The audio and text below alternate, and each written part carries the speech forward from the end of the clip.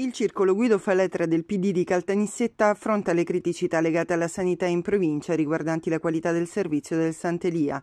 Il circolo chiede un incontro, dibattito pubblico con i vertici sulla situazione attuale della sanità territoriale. Salute e cittadinanza sono due facce della stessa medaglia. Se la prima non è riconosciuta, la seconda è negata.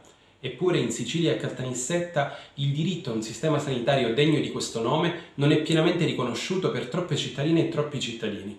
Sin dal 2019 l'ospedale Santeria è individuato dalla regione siciliana quale idea di secondo livello, baricentro di un sistema ospedaliero che dovrebbe rivolgersi potenzialmente a oltre un milione di abitanti, ma mancano strutture, mancano mezzi, manca personale, mancano risorse, mancano interi reparti che pure la normativa prevederebbe esistenti.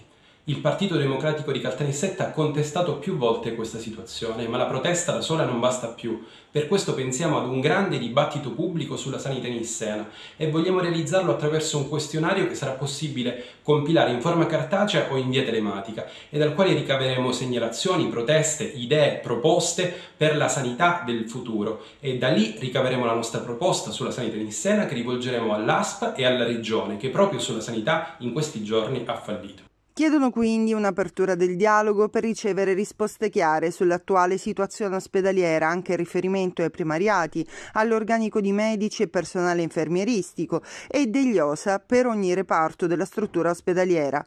Tra le azioni che a breve predisporrà il circolo c'è la diffusione di un questionario per rilevare i dati sulla qualità del servizio sanitario.